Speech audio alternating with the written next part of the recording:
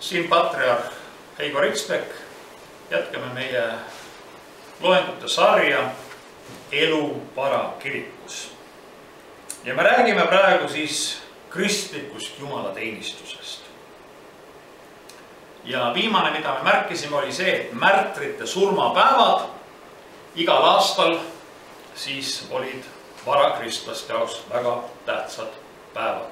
see oli inimese jõudmine äh, issanda juurde. Ja siiamaa ka nagu öeldakse sellise mm, noh, ma ei oska öelda sellise, ei tahaks sellise terava äh, kriitika nagu siia esitada, vaid selles mõttes, et, et kui me üldse surmast räägime, siis mulle tundub, et varakiriklik arusaam surmast ja meie tänapäevane kristlik arusaam surmast on mõnes mõttes siiski nagu teatud nihkes. kuigi teatud üldised printsiibid kehtivad ka tänapäeval, aga kasvõi see, et tulenevalt teatud karismaatilisest ajaloost, karismaatilistest kogemustest ja ka rõhuasetusest haigete tervenemisele, siis suremine on kuidagi selliseks äh, muudetud selliseks äh, nähtuseks, mis äh,, mis omab ainult sellist negatiivset konnotatsiooni, loomulikult surm on viimne vaenlane ja ka Jumal vihkab surma ja nii edasi, aga surm on siiski üks vaheaste, mille kaudu me astume siinpoolsusest Jumala ette. ja sellepärast paljudes kloostrites, paljudes usu, usu osaduskondades see surmapäev jääb nagu väga eriliselt ka meelde, see on nagu üks tähistamaks seda, et keegi on jõudnud juba sihile. keegi on jõudnud juba Jumala riiki kohale. liturgiliste riituste abil võideldi ka igasuguse ebausu vastu kristlikus kirikus inimesed, kes olid tulnud erinevast tagamaast, oli nendega tihti ka väga kummalised ebausu traditsioonid ja liturgilised riitused just nimelt püüti neid niimoodi kujundada siis, et nad vähendaksid või, või minimaliseeriksid selliste ebausu traditsioonide olemasolu. Üks probleem muidugi, mis oli ka varakirikus väga suur ja ka hilisematel aegadel, on vaidlus siis patukahetsuse üle. siin oli mitmetel erinevatel ajastutel väga palju erinevaid seisukohti. võib-olla ütleksime tänapäeval seinast seina, alates sellest, et kui inimene pärast ristimist on eksinud siis nagu seda ei saagi enam andeks. ja teise äärmuseni siis, et, et inimene võib siis eksida nii palju kui tahab, ikka jumala arm on talle vastu tulev. no kui me nüüd vaatame veel laiemalt kristliku kiriku ajalugu, siis kui me tuleme nüüd kahekümne sajandi juurde, siis Dietrich Bonhoeffer toob välja selle odava armu vastu teoloogilise lahenduse, et me ei saa odavat armu kuulutada ja selles mõttes Kristuse lunastus läks maksma Jumalale Jumala elu, kui me niimoodi võiksime öelda. ja sellepärast see patukahetsuse viis, kaua peaks inimene pattu kahetsema, mis patt antakse andeks, kuidas antakse andeks, kui pika aja peab inimene armulaualt kõrval olema, nii edasi, nii edasi. Et see ei ole üldse varakirikus sellise päris ühese, samasuguse arusaamisega olnud. ja loomulikult on siin ka erinevaid lähenemisviise ja erinevaid arusaamisi, aga praegu ma seda rohkem detailsemaks puudutama, puudutama ei hakkaks. ja siis oli veel üks probleem. Nimelt probleem oli selles, et kristlased elasid ikka loomulikult ju oma rahva keskel. ja oli olemus, olemas tollal nõndanimetatud rahvalikud lõbustused. ehk siis rahvalikud pühad või rahvalikud pidustused. muidugi, millest need olid tekkinud? Need ei olnud tekkinud ka millestki nagu iseenesest. Nad olid tekkinud paganlikest pidustustest, paganlikest religioossetest taustsüsteemidest. sest tol ajal ei ole olemas sellist nagu sellist äh, mittereligioosset tseremoniaalset taustsüsteemi. Mm, tänapäeval väga paljud inimesed tahaksid kangesti omada sellist asja, et me religiooni kõik jätame kõrvale ja siis me oleme mingisugust, ma ei tea, mis alusel, paraku seda võimalik teha ei ole. ja kui seda täna ei ole isegi võimalik teha, siis tol ajal loomulikult eriti mitte ja nüüd tekkis küsimus, mis me siis teeme? ja üldiselt võime öelda, et kristlik kirik suhtus väga karmilt, väga negatiivselt kõikidesse nendesse asjadesse. näiteks paganlike romaanide lugemine, mis ei olnud pühakiri ja mis ei olnud siis kirikuisade või siis kristlikud tekstid luksus. noh, see on ka äh, mõistetav äh, sellise kristliku askeesi ja kõigi põhjal. nagu me rääkisime siin Ambrosiusest, kui inimesed, kes olid ka väga rikkad äh,, said kristlasteks, väga tihti jagasid nad kogu oma vara ära või andsid mingisuguse väga suure osa sellest varast ära. aidati üksteist, sotsiaalhoolekanne Äh, haigete eest hoolitsemine, kõik see tuleb ju kristliku kiriku kaudu. Äh, naiste ehtimisjanu, kõiksugused kõrvarõngad ja igasugused muud pähepandavad, ükskõik kuhu pandavad muud asjad. Ja vot siin tulebki nagu teha nüüd üks vahe, mida me nüüd kahekümne esimesel sajandil kindlasti peaksime olema võimelised juba tegema ja nende probleemidega me teame, on tegeldud ka seitseteist, kaheksateist sajand ja üheksateist sajand ja kakskümmend sajand ja kus olid puritaanlikud ajad, kus ei tohtinud keskajale vastandlikuna värve kasutada palju. aga ainult kaks värvi oli, punane, tähendab must ja valge, milles pidid kristlased käima, olid mingid ajad. oli aegu, kus ei tohtinud, ma mäletan isegi veel üks nelikümmend, viiskümmend aastat tagasi kristlane mingeid lokke teha, mingit meiki panna peale või mingit taolist asja.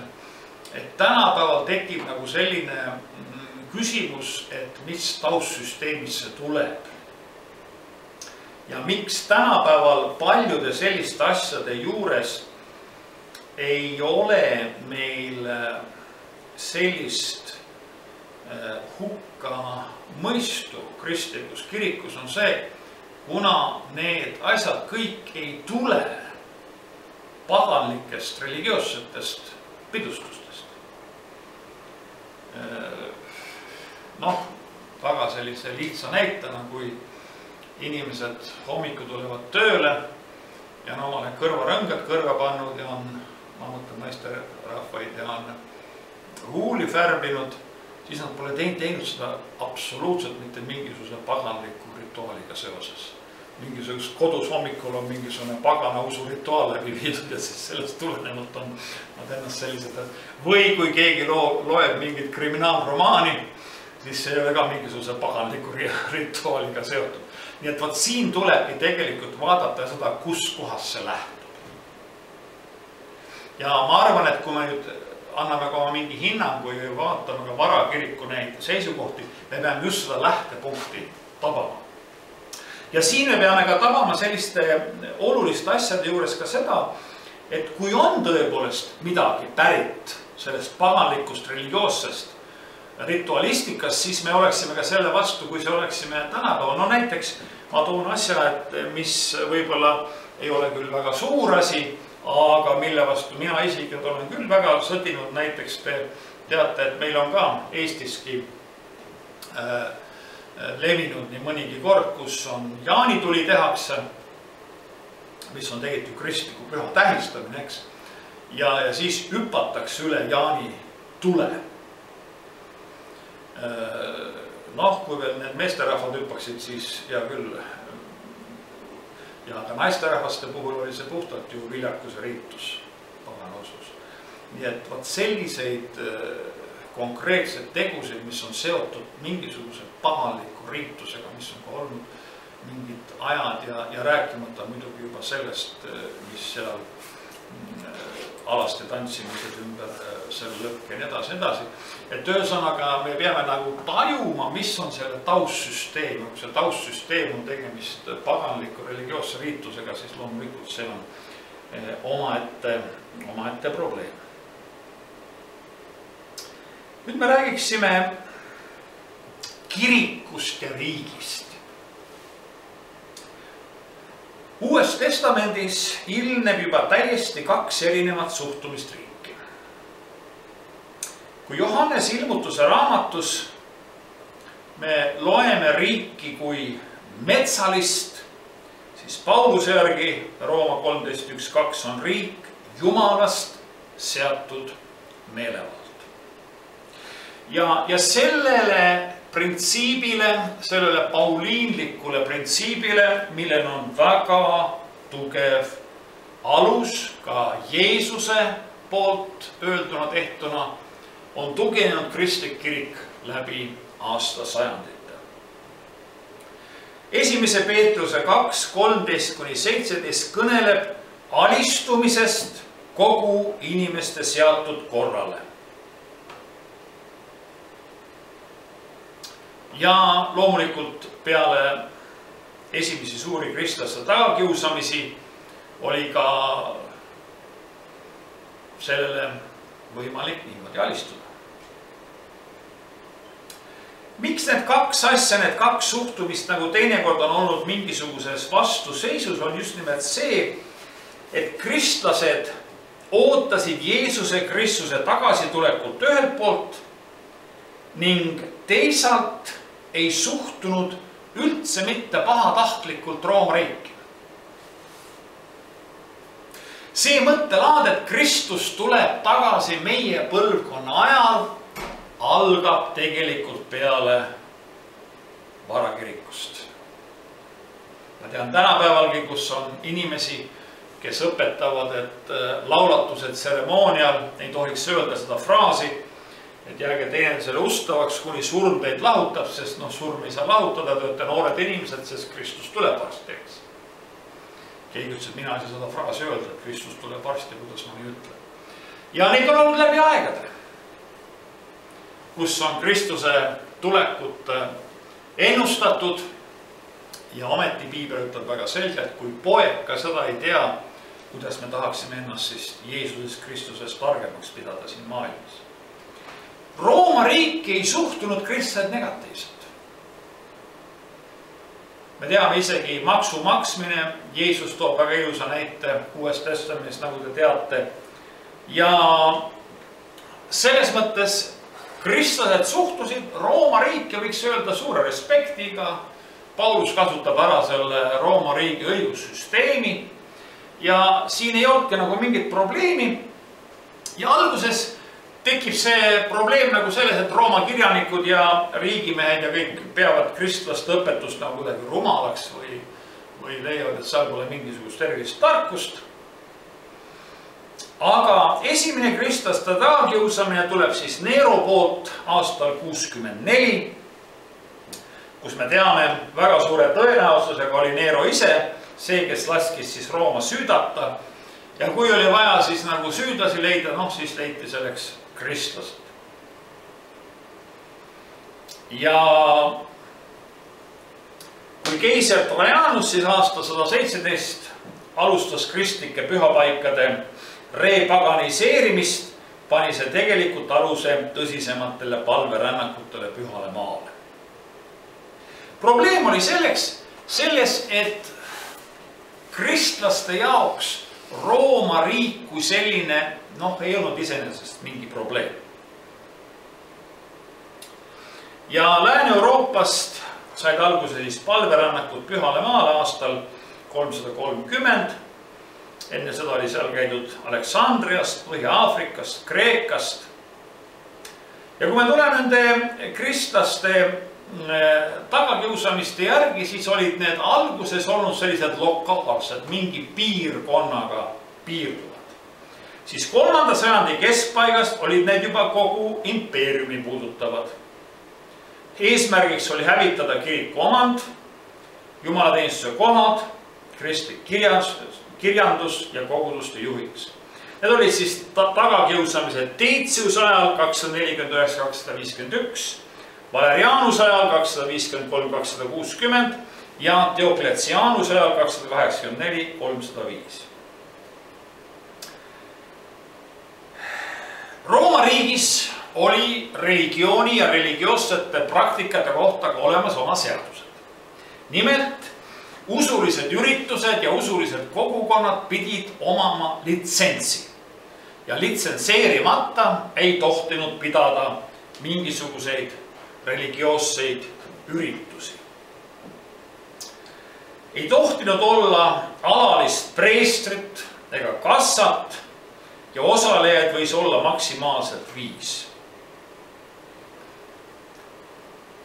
väga tihti, kui me tuleme ka mõningate dokumentide juurde ja tänapäeval, kus me teatud konfessioonides eriti ka rõhutatakse kodukoguduste ja väikerühmade ja kõike seda tähtsust ja et, et see varakirikus ka niimoodi oli, siis me peame seda silmas pidama ka sellepärast, et miks see niimoodi oli.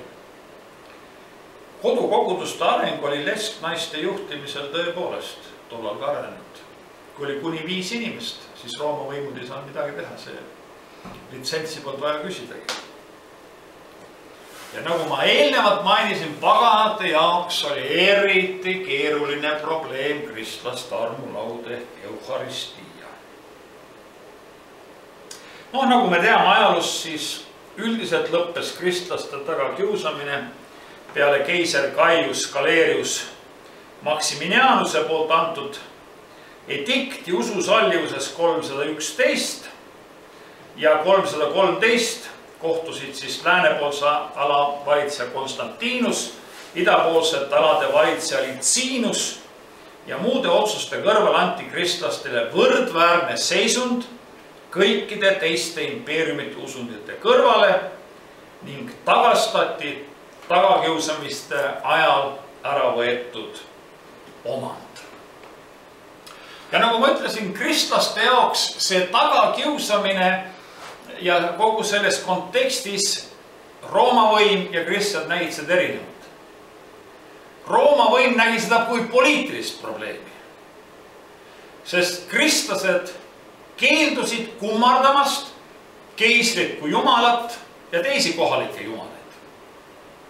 kristlaste jaoks oli see usuline küsimus. on ainult üks issand, Jeesus Kristus on issand sa pidid saama ühe tähe, et sa oled kohalikele jumalatele ohvri toonud ja siis keegi sind ei kiusanud taga, no siis tekivad veel omaette probleemid, et mõned kristlased ostavad siis kellegi käest sellise tõendi välja ja näitavad ette siis, mis me nendega teeme, kas viskame kogudusest välja või kui kaua me laseme neil siis viis aastat või mitu aastat olla väljaspool armulava osadust.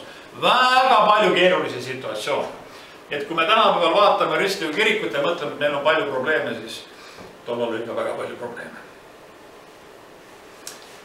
tuntud on siis äh, legend, kas ta siis oli nii või ei olnud, et enne võitu Maxentuse armee üle nägi Konstantinus taevas seda XP monogrammi, hiljem nimetatud ka Kristus monogrammiks ja ning antud sõnum hic hoc signo vinces, selle märgi all sa võidad. ja siis Konstantinus laskis teha, see on juba ajalooline fakt teada, et kõikidele kilpidele teha see Kristus monogramm. Rooma sõdurid alguses kartsid, et Jupiter ja kõik jumalad löövad nad maha ja, ja selleks pidi keiser sundvägivalda tarvitama, aga kui nad läksid lahingusse, hakkasid kasutama sellist sümboolikat.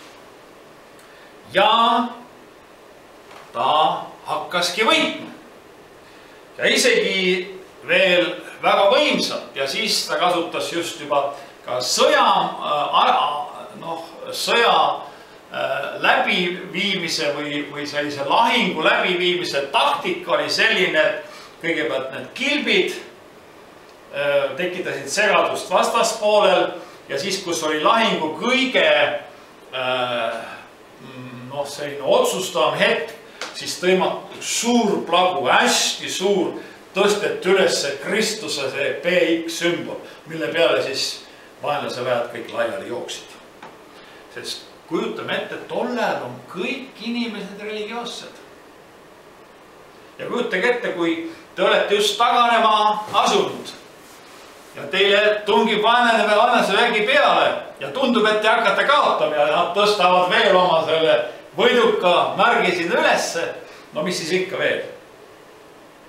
ise Konstantinus laskis ennast ristida vahetult enne oma surma.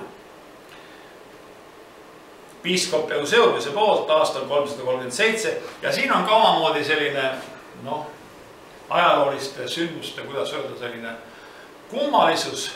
me teame, et Konstantinus oli see, kes kutsus kokku piiskopid ja tema survel võeti vastu Nikaia usutunnistus kolmsada kakskümmend viis. enamik piiskop olid ariaanid, vähemus olid mitteariaanid ja Konstantinuse surve oli nii suur, et võeti vastu usutunnistus, mida me tänapäevani kasutame Nikaia usutunnistusena. ja siis läheb aega mööda-mööda ja siis ta laseb ennast ristida ühe ariaanliku piiskopi poolt enne surma. nii et ma ei tea, kas siin võib seda öelda. issand, need on imelikud, aga mõned asjad on ka väga, väga kummalised. nüüd natuke tagasi tulles kolmsada kaksteist oli Konstantinus juba andnud terve rea edikte või määrusi välja, kus anti kirikule suured summad sotsiaaltööks. vaimulikud said muide maksuvabastuse kõik. Kirik sai juriidilise isiku staatuse ja millest tulenevalt kirik muutus ka suurmaomanik ja nüüd hakkab asi läheb nagu teise, Aarli kiriku kogul kolmsada neliteist kehtestas, kehtestati siis kirikukogu kehtestus, see on siis kiriku poolt kehtestatakse armeeteenistuse kohustus kristlastele ja kõiki väeteenistusest keeldujaid ootas ekskommunikatsioon ehk kirikust väljaheitmine. kui alguses krist-, kirik oli sellise patsifistlikuma hoiakuga oli aegu isegi, kus sõdurid ei võetud küll sõjamehi kirikusse, siis nüüd me oleme nagu teisel poolel, et kui sa ei taha minna keisriarmeesse teenima sõjamehena, siis viskame kirikust välja, siis sa oled kiriku liige olnud. ja aastal kolmsada kakskümmend andis Konstantinus piiskopi ametil edasi ka kohtuvõimu, piiskopid olid kohut mõistma ja tehes kiriku selles mõttes Rooma riigisüsteemi tsivilise-, tsiviilteenistuse osaks. nüüd me võime sellest nähtusest näha kahte erinevat hinnangut. on paljud konfessioonid, kes ütlevad, siit algas suur kiriku allakäik. nüüd hakkas riik dikteerima seda, teist ja kolmandat ja nii edasi. või oli see kiriku erakorralise arengu võimalus, mis oli nüüd tegelikult. nii et me mainisime, et aastal kolmsada kakskümmend andis siis Konstantinus piiskopi ametile kohtuvõimu ja tehes kiriku selles mõttes Rooma riigisüsteemist tsiviilteenistuse osaks ja siis oleme, mainisin ka seda, et seda nüüd on kõik seda Konstantinuse aega, Konstantinuse otsuseid on nähtud nagu kahest sellisest vaatepunktist, et see toimus nagu kiriku suur langemine, tõeline usk nagu kaotati ära või nii edasi. või siis vastupidi, see oli nagu sellise kristliku tsivilisatsiooni algus. Ma arvan, et me võiksime siiski näha selles rohkem positiivset kui negatiivset. ja, ja kui mingid otsused tehakse, siis tol ajal meil, me ei, me ei saa tahta seda, et oleks demokraatlik riigikorraldus, no võib-olla jah Ateenas see oli, töötas niimoodi, aga Rooma impeerium töötas teistmoodi. ja teine asi oli ka selles, et äh, need initsiatiivid tulid mitte niivõrd riigivõimudelt, vaid tulid kirikult. kirik esitas riigile sisult teatud palved, teatud soovid ja riik täitis need. no eraldi muidu on siin see Nikai usutunnistus, kus oli Konstantinus selle asja nagu eestvedajaks ja, ja kuidas me selle peale nüüd siis vaatame? et Konstantinuse mõju oli nii suur, et ariaanlik süsteem ei läinud läbi. No me ütleksime selle peale tänapäeval ilmselt halleluuja. tänu jumalale, et jumal kasutas Konstantinust väga imelisel viisil, et see niimoodi läbi ei läinud. Konstantinus oli ka see, kes hakkas kirikute ehitust ja ehitamist riigi poolt finantseerima. ja aastal kolmsada kolmteist, kolmsada neliteist ehitatigi Roomas esimene kristlaste basiilika ja kristliku kiriku selliseks lähtemudeliks sai antiik-Rooma selline haldushoone, basiilika selline äh,. see oli nagu sihuke kõige väärikam hoonetüüp tollal ja kirikud hakati ka selle järgi siis ehitama. Palestiina vanadest kirikutest on säilinud Konstantinus suure ema Helena poolt siis initsi-, initsieeritud siis Kristuse sünnikirik Petlemmas. ja muidugi on ka Pühalmaal teisigi kirikuid, mis on küllaltki varasest ajast. aga nüüd ma hüppasin nagu ajast ette, aga siis tuleksime veel kord selle Konstantinuse kiriku kogu juurde. vabandust, Nikaia kiriku kogu juurde, mida Konstantinus kutsus siis kokku aastal kolmsada kakskümmend viis nimelt kiriku sees ei olnud leppimist. ja vot see oli nüüd küsimus, mis ainult üksinda ei häirinud kristlasi, vaid ka hakkas häirima keisrit. ja sinna kogunes kolmsada kaheksateist osavõtjat. ja nüüd tulevad huvitavad asjad, kui me vaatame, mida Konstantinus seal tegi, siis ta käitus mõnes mõttes kristlikumalt kui kristlased ise. kõigepealt tulid piiskopid kohale ja olid kirjutanud üksteise peale igasuguseid kaebekirju, terve hulga ja andsid selle Konstantinusele üle. et Konstantinus hakkas nüüd nagu keisrina siis lahendama piiskopide vahelisi igasuguseid asju. Konstantinus võttis selle paki, neid süüdistusi ja kaebekirju, laskis need ära põletada. ütles, et nende küsimuste otsustamine las jäägu viimsele kohtupäevale lahendamiseks. Nüüd võime öelda, et selles olukorras Konstantinus käitub tõesti kristlikult väga-väga imelisel viisil. see ei jäänud ainsaks üllatuseks Nikaias. keisri vahele astumisel ta hakkas ka sõnastust ütlema, mismoodi Nikaia usutunnistus kokku panna. me võiksime jälle ütelda, no näete, riik sekkub vahele, vaata kirik ei saa aga kui keiser poleks sekkunud, suure tõenäosusega me oleksime saanud ariaanliku usutunnistuse, kogu kiriku ajalugu oleks läinud teistmoodi, oleks tulnud seal mõne aja pärast uus kirikukogud kokku kutsuda, need hukka mõista kõik ja oleks olnud üksjagu igasuguseid arusaamatusi. ja keisri vahele sekkumise tõttu võeti vastu usutunnistust pidi väljendama kogu kirikuõpetust, terve kirikuõpetust terves Rooma impeeriumis. ja siis, mis oli see põhiline dogmaatiline tüliõun, mis oli siis seal piiskopide vahel, oli just nimelt see homoousius, sama olemus. kas poeg on isast erineva olemusega või on ta sama olemusega? noh, eesti keeles lihtsalt öeldes, kas Jeesus Kristus on täiuslik Jumal või ei ole seda, eks. ja ariaanlaste jaoks ta ei olnud, ta oli nagu mingisugune kraad allapoole. tänapäeval on Jehova tunnistajad selle mõtte kõige laialdasemad levitajad aga tollal oli igasuguseid klostesi grupeeringuid, aga kõige kuulsamaks loomulikult ariaanlased, harjuse järgijad. ja see diskussioon oli seal päris terav ja keiser sekkub, ütleb, et asi on nii. ja siis kõik kirjutavad alla sellele. mida keiser ütles, poeg on isaga sama olemusega. no selle kohta võis hakata nüüd jälle ka niimoodi teooria ütlema, et jumal, jumal kuidagi eriliselt ilmutas või andis Konstantin Tiinusele mingi nägemuse või ta väga targana käitus või.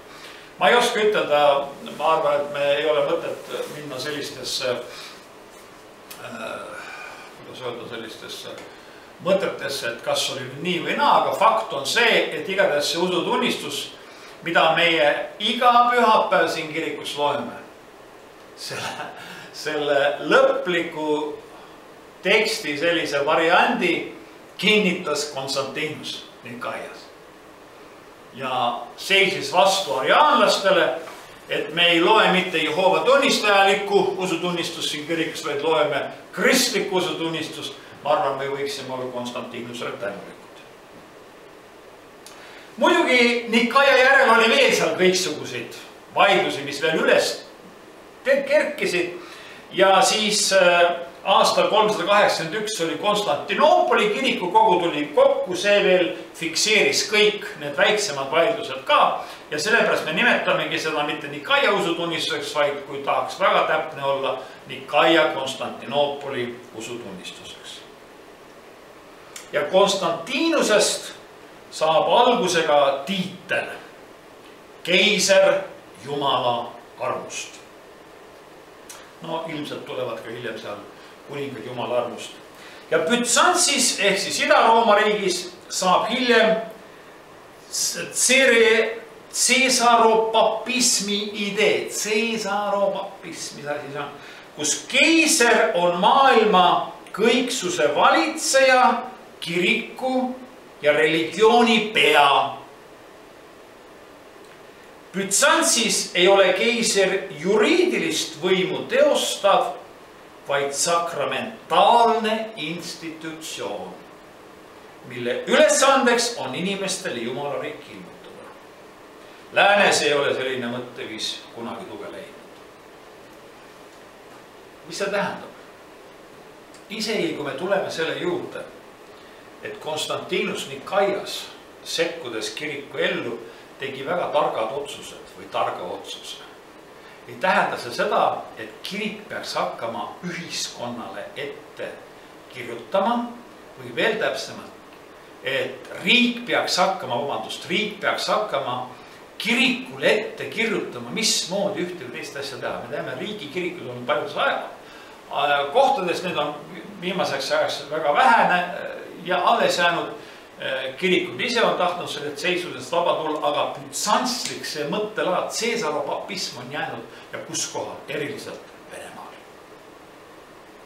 ja kui me tänapäeval vaatame kasvõi seda, kuidas seal sõdurpoisid peavad suudlema ikooni, kus Putin on peale maalitud ja, ja kus seal tankid kõik õnnistatakse sisse, igasugused relvad ja, ja Kirill istub Putini kõrval ja siis see ei ole mitte selline nagu kiriku flirt riigiga nagu mingis mõttes, see on see tsensaropapism. keiser ei teosta juriidilist võimu või kuningas või valitseja. ta on sakramentaalne institutsioon, mille ülesandeks on inimestele Jumala riiki ilmutada. ehk teisisõnu president Putin vastu, Putin vastutab selle eest, et inimesed elaksid jumalakartlikult elu. ja iga kolme päeva pärast, iga kolme päeva jooksul ehitatakse Venemaal üks õigeusu kirik juurde. asi käib väga hästi, eks. võimsalt Kristus areneb. Lääne mõtteviis on hoopis teistsugune, et kirik tegeleb oma asjadega, riik tegeleb oma asjadega, eks. ja vot see ongi üks selline küsimus, mis on nüüd sajandeid olnud. ja sellepärast on ka läänel, läänemaailmal väga raske mõista bütsantslikku maailmavaadet ja bütsantslikku Venemaad. kuidas see niimoodi on, miks see niimoodi saab olla? edasi siis võideldi paganusega. ja nüüd läheb kirik, nagu öeldakse, rünnakule. kolmsada nelikümmend keelatakse idas kõik paganlikud ohverdused. ja aastal kolmsada nelikümmend kuus keelatakse kõikjal Rooma riigis kõik paganlikud ohverdused ning paganlike pühade tähistamine kriminaliseeritakse. nii et kristlik kirik oli mõnikümmend aastat omanud juba seda vaba seisundit ja öeldi, et nüüd, kes hakkavad veel pagana pühasid pidama ja neid peavad, neid hakatakse karistama kriminaalkaristusega üks keiser Julianus aastal kolmsada kuuskümmend üks, kolmsada kuuskümmend kolm oli valitseja, tahtis küll paganusse tagasi pöörata. aga see tal ei õnnestunud ja ometigi ta kaotas kõigepealt ära need kristlaste poolt kehtestatud usulise tagakiusamise seadused. kolmsada kaheksakümmend üks oli siis eh, Theodosius Suure poolt kokku kutsutud üleüldine kirikukogu Konstantinoopolis ja kolmsada üheksakümmend üks mõistetakse hukka kõik paganlikud kultused. ja kolmsada üheksakümmend kaks, kõik kultused saavad veel kord siis kriminaliseeritud. Ja aastal nelisada kuusteist tõrjutakse kõik mittekristlased riigi ametitest välja ja elanikkonnast olid kristlased tollal viisteist protsenti. oli tekkinud impeerium Roman Christianum, püha Rooma kristlik impeerium. ja nüüd tuleb küll sellele probleemile nagu nüüd läheneda teisest küljest. kui sa tahtsid olla, kui sa tahtsid olla riigiametis, sa pidid olema kristlane, muidu ei saanud ja vot nüüd tuleb ilmselt selline ajastu, kus äh, kirikupead ja kirikujuhid äh, selle evangeliseerimise ja sellise missioonitöö asemel hakkavad kiriku ustel rohkem inimesi piltlikult öeldes välja praakima sest kõik tahavad kirikusse tulla, miks tahavad tulla, sest kirikusse kuulumine annab eeliseid ühiskonnas elamisel. kujutage, kui öeldakse, et kes on anglo-katoliku kiriku liikmed, need saavad riigikogusse ka kandideerida, teised ei saa. no siis meil oleks siin pikk järjekord soovijatest ilmselt. Või, või kes kuulub mingi kristlikusse kirikusse, saab vallavolikogu või, või üldse mingisuguse riigiasutuse liikmeks või ütleme nii edasi. nii et äh, väga tihti esitub nagu missioloogilised küsimused, miks viiendast sajandist alates hakkab kuidagi sellist evangelisatsiooni ja missioloogilist tegevust nagu sellises kujus nagu enam ei ole või, või on ta kuidagi nagu teisendunud, aga just sellepärast, et tollal riigiseadused Rooma impeeriumis on sellised, et kõik tahavad olla kristlased. ja nüüd peavad piiskopid teised vaimulikud, kateheesi tegemisel ja kõige muude asja juures just nimelt vaatame seda asja teist poolt, et mitte võtta kirikusse nii-öelda oportuniste, kes tahaksid kirikut ära kasutada, vaid kes on tõelised kristlased. ja see protsess ei ole sugugi mitte lihtne protsess. Nii et äh, kui me oleme ka siiamaani nüüd vaadanud äh, kirikuloo, seda varakiriku loo, seda Äh, esimest osa, siis ma arvan, et need erinevad äh, lähenemisviisid sellele juba näitavad meile, et see on väga mitmekihiline, väga mitmetasandiline, väga erinevate probleemidega, erinevate selliste rõhuasetustega. ja varakiriku elu ei ole mitte nii üheselt mõistetav, ühtselt interpreteeritav ja arusaadav, kui me seda võib-olla tahaksime näha. aga sellest juba järgmine kord kuuleme edasi